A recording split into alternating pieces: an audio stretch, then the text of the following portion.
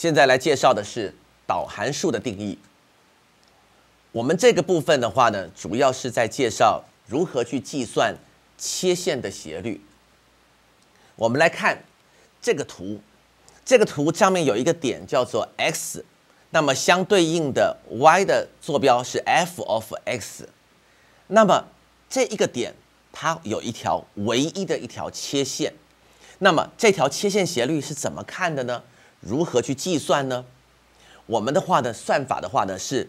这个算法是很困难的，因为我们都知道，要计算斜率一定要有两个点，两个点才能够制作斜率。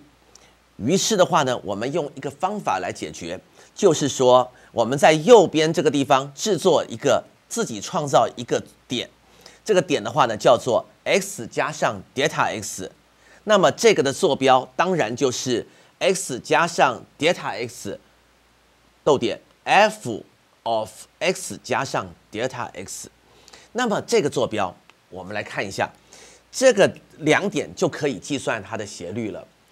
不过这条斜率我们不叫做切线，我们叫它割线。那割线跟切线到底有什么差异呢？我们从图上可以看得出来就不一样。那么我们要怎么样去计算这条切线的斜率呢？我们可以透过一个方法。就是利用这个 delta x 的话呢，越来越小，它就会越来越靠近它。我们来看看这个点，如果 delta x 往左边走一点，这个点的话呢，来我们向这个地方靠近一点，我们发现的话呢，这条线的斜率慢慢的会越来越接近它。我们再往前走一点，又在平缓了，更像它了。那么我们继续的往左边走，再走。好，我们到这边来以后，我们就可以看得出来了，它非常非常的接近它。如果我们最后的话呢，一直到了这个点两点几乎能够重合的时候，是不是割线斜率就接近切线斜率呢？于是我就把这个算式算给各位同学看。来，两个点我们会算斜率，我们的话呢写了。斜率我们习惯用 m 来表示，这叫做割线的斜率。割线的斜率怎么计算呢？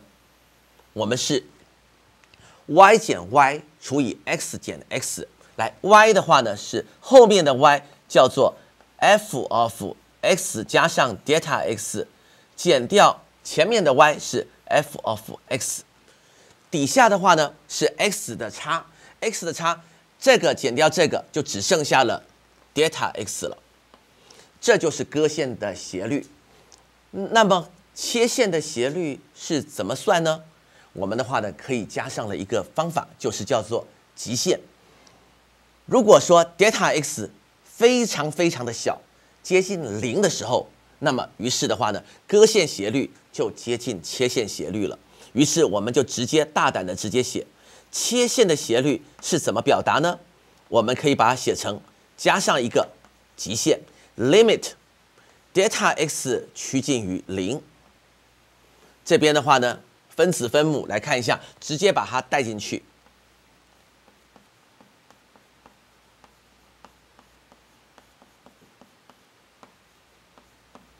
这个的话，这个符号的话呢，代表的是什么意思呢？就是它的切线斜率。我们用一个这个来表示，这个字念 f prime x，这个就是我们所称的导函数。那么还有另外一些写法，在看课本里面，微积分的课本里面有提到的是，它也可以把它写成 df dx，或者是写成 dy dx。这些的话呢，都是所谓的导函数，也就是微分的写法。